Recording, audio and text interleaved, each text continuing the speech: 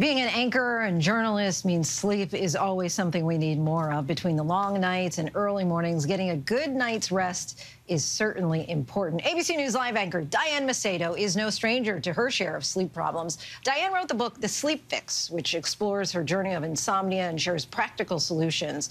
Now she has a new course, The Sleep Fix Method, and it takes a deeper dive into how to build those better habits. And joining us now, the anchor herself, Diane Macedo. Good to be sharing the desk with I you. I know it's fun to be on this side of we it. We normally pass like like ships in the night, and you know we've had these conversations because I too have have suffered. I, I, actually felt your book was a real big help for me. I'm so glad. With getting a better night's sleep. So tell us how this course differs from what we can get as far as tips in the book. So uh, one, I think so many of us attribute our sleep problems to, oh, it's my schedule or it's just work or whatever. And we normalize problems that we shouldn't normalize because they are fixable, even though sometimes we're made to believe that they aren't.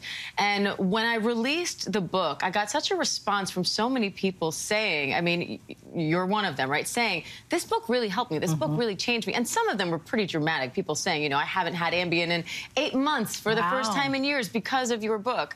And so I thought, okay, this is. I'm onto something here. Mm -hmm. You know, this is really helping people.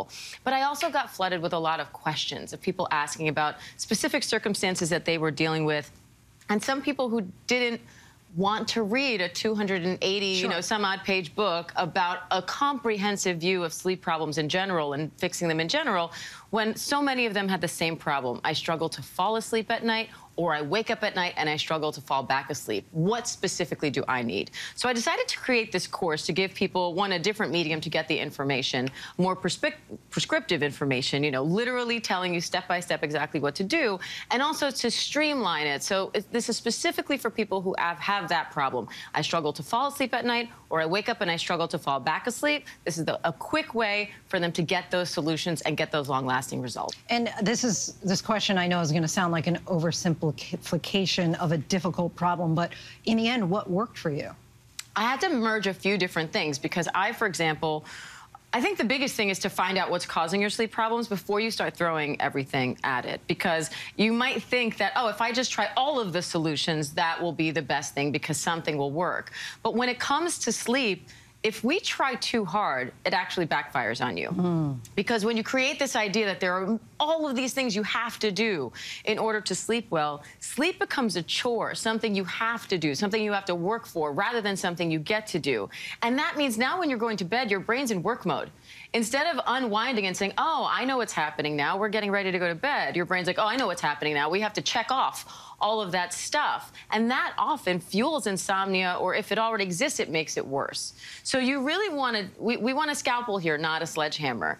And so part of my mission with the Sleep Fix is to help people first pinpoint what's causing your sleep issues. And let me ask you a few questions, you know, and I do this in the course and in the book. Let me ask you a few questions to help you narrow down and describe to you a few different things, and you tell me what sounds familiar. Because from there, then we can steer you in the direction of, okay, here are a series of evidence-based solutions proven in clinical studies to be effective that are specifically aimed at that problem. And what that does is not only do you get results, but you get results without trying a million different things and making all these big sacrifices that you don't necessarily have to make. So you get those results without all the stress and without feeding into this problem that's already causing. And for me, circadian rhythm was a big one because of my schedule. So I learned some really practical tips to kind of shift my circadian rhythm, almost as if you're get preparing for jet lag. One of the surprising things I learned is you can accidentally train your brain through your behaviors to think you're supposed to be awake in bed. Mm. And that's why so many of us are dozing on the couch one second,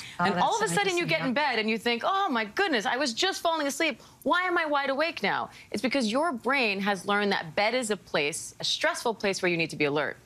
So instead of winding down, it triggers your fight or flight response. If your routine consistently ends in you wide awake and frustrated, that routine will just continue to send the message that now it's time to be awake and frustrated. So you need to find the more practical solution for that problem. Diane, thank you thank so you, much Linsey. for joining us. Want to let our viewers know her course, The Sleep Fix Method, is available on the site thesleepfixmethod.com. Hi everyone, George Stephanopoulos here. Thanks for checking out the ABC News YouTube channel. If you'd like to get more videos, show highlights, and watch live event coverage, click on the right over here to subscribe to our channel and don't forget to download the ABC News app for breaking news alerts. Thanks for watching.